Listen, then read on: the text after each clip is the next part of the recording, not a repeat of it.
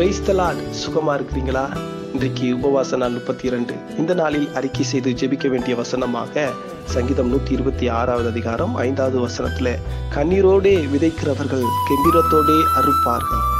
ஆமாங்க நீங்க கண்ணீரோடு ஒரு காரியத்திற்காக ஜெபித்து வருகிறீங்களா? அந்த காரியத்துல கர்த்தர் கெம்பீர அறுவடையை தரப்போகிறார். உங்க கண்ணீருக்கான காரணம் மாறப்போகின்றது. நீங்க குழந்தை பாக்கியத்துக்கு கண்ணீர் வடிக்கிறீங்களா? கர்த்தர் அந்த தேவையை சந்திப்பார். சரீர சுகத்துக்கு கண்ணீர் வடிக்கிறீங்களா? கர்த்தர் அந்த காரியத்தை நிறைவேற்றுவார். நீங்க தேசங்களுக்காக கண்ணீர் வடித்து ஜெபிக்க போகிறீங்க.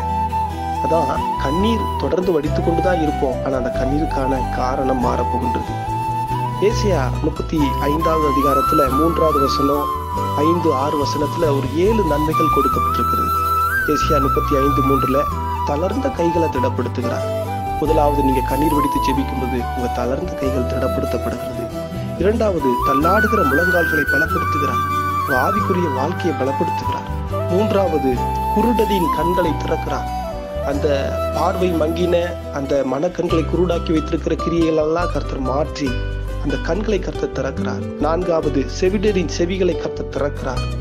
கர்த்தருடைய வார்த்தையை கேட்கும்படியா அதிசயத்தை கேட்கும்படியா அந்த காரியத்தை திறக்கிறார். ஆமீன். ஐந்து முடவனை மான்கள் போல துள்ளி குதிக்க செய்கிறார். உங்களை முடக்கி வைத்திருக்கிற அனுபவத்தை எல்லாம் கர்த்தர் உடைத்து உங்களை துள்ளி குதித்து மகிமைப்படுத்தும்படியான அனுபவத்தை கர்த்தர் தரப்போகிறார்.